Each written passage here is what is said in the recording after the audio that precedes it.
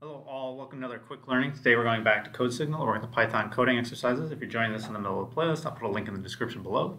So you can start from the beginning if you wish. Otherwise, I'm going to go ahead and get started. So I'm going to the arcade, going to Python. And then we were at this drilling the list section. And number 60, pref sum. There's a great technique that allows finding sums of consecutive elements in the given array extremely fast. It is based on the usage of prefix sums. Given array A, your task is to calculate all its prefix sums. So if you have this list here, 1, 2, 3, you want the output 1, 3, 6. The reason you want that is first you just, the first one is just whatever it is. The second one is the sum of it and all previous. So in this case, it's 3.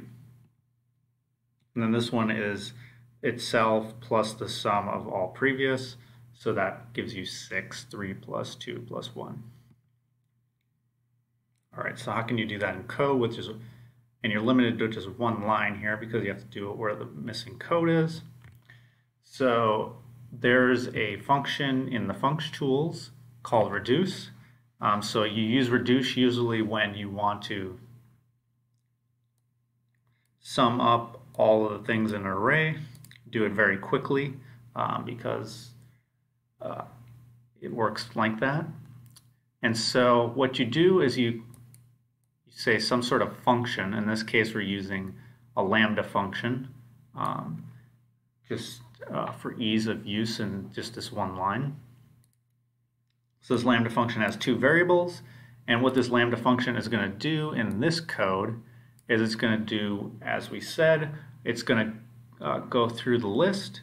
It's going to take uh, pairwise these, and then it's going to sum those up, and then it's going to add it, append it to the list. So this is what uh, this part is here, is appending it to the list. And you can see we're going to start out with a, a list uh, of just zero uh, so that we can append it and this A here is just uh, the list that we're going to put into the reduce function. So A is, uh, this, is this here. And so you have to do this because you want to trim off this zero from the list that you add. So let's, if I remove this, we'll go ahead and see uh, the output here. So it's going to be zero, and then it's going to start appending. So you can see it starts with zero, which is whatever you put here. This is an optional argument, so you don't have to start with anything. You just start from the first one. Be because we're appending to a list, we have to start with a list. So we start with zero, and then this function here, this lambda function, uh, we take a in, and then we take zero plus the next element, which is one. And so, and then we put one and we append it to the list. And then it goes through another iteration where it goes, okay, so we did one, now we're going to two. So we're going to take two and we're going to sum the previous. In this case, it's going to be one uh, because that was what was in the list. So that gives you three.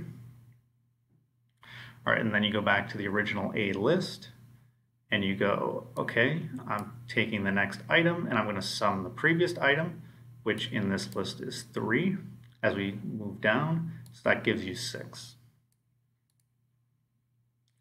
And then when you do the slicing here of one, so this means it's going to, since uh, Python is zero index based, it's going to start with the second item.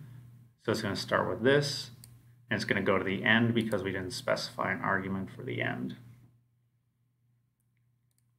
So if we run that, we'll see that that, that gives us the output that we want. So hopefully you guys are able to follow along with that and uh, you'll join me for future videos. Thank you very much.